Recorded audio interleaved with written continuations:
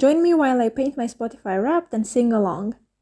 I tapped on your window on your darkest night. The shape of you was jagged and weak.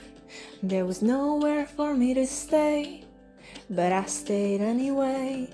And if I would have known how many pieces you had crumbled into, I might have let them lay. Is it insensitive for me to say, get your shit together so I can love you? Is it really your anxiety that stops you from giving me everything?